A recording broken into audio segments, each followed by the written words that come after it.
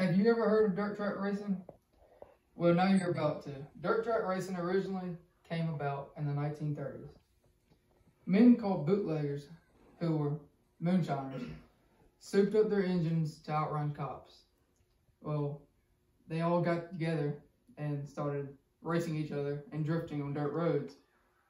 And later on, a guy named Bill France, he was the first to originate this amazing sport. The original dirt track cars were called pony stocks, cyclones, street stocks, limited, sports mod, modified, and 305 sprints. In the modern racing world, the cars are now called dwarf, sprint, open wheel, late model, which is like what Jonathan Davenport drives. He's a professional racer in the Lucas Oil series. And also stock cars. Stock cars can be made from El Caminos and Camaros. Sprint cars are the fastest, reaching over 140 miles per hour. Tracks from the U.S. are about one third a mile, mile long. Dirt tracks are oval in shape, and racing is performed on dirt or clay surfaces. Magnolia Speedway, the local track in Columbus, uh, is considered a gumbo surface, which is they got mud out of a river bottom, and that's what the surface is. And dirt track racing is one of the most exciting forms of automobile racing. There are multiple events going on on race day, and, mul and multiple races.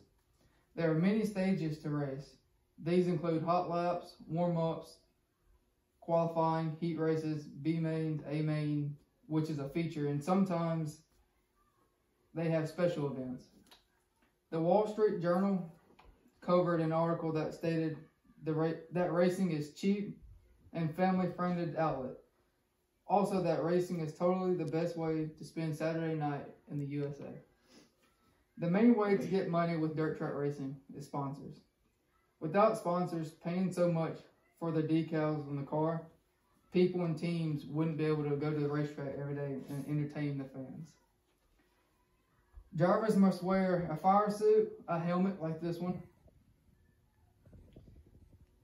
and neck harness, and a five-point seatbelt harness that straps over both shoulders and around the waist and between the legs.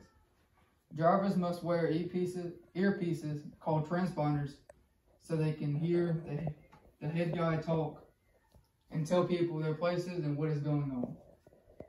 The main safety feature is the car's roll, roll bars. Roll cages help to stiffen the frame of the car. They are usually either bolted in or welded in. There is a roll bar behind the driver that provides a better roll protection. Some tracks do not require a, a um, head and neck restraint or brace, but everyone should at least get one for their safety. The driver's gloves and shoes have the same effect as the fire suit. Driving a race car is not for everyone, but watching races is. I have been a run racing my entire life. Racing has been in my family for three generations. My grandfather started the racing tradition when he was only a teen. I've learned being at the racetrack is a good place to learn as much as possible and bond with family. In conclusion, dirt track racing originated in the 1930s by people trying to outrun the law. The tracks are oval, made up of three different types of dirt. The original and modern cars are different, but a little similar. There are so many different events going on on race day that you are constantly busy. And lastly, racing is a dangerous sport, but there are several safety precautions.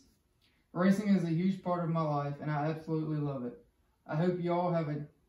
All will try to watch a race and experience what I love. Thank you.